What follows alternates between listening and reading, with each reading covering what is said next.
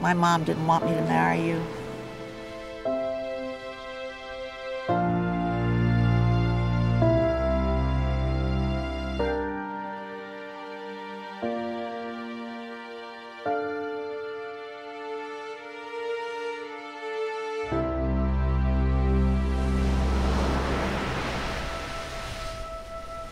Dickie, I love you, and that's who I am.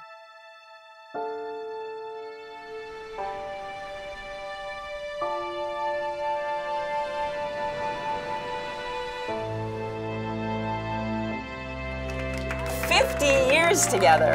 It's beautiful. What is your secret?